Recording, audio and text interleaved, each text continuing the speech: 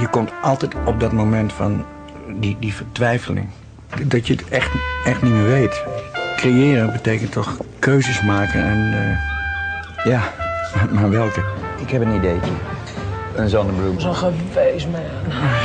En dat, dat creatieve proces, dat maakt je soms helemaal gek. Dan neem ik een molentje of een, een hartje, weet je wel. Ja, ik kom er niet uit. Nou, ik vind deze wel leuk, pap. Jullie met die zonnebloem. Ja. Een roos of een beschuitje, tulpen of een fruitschaal.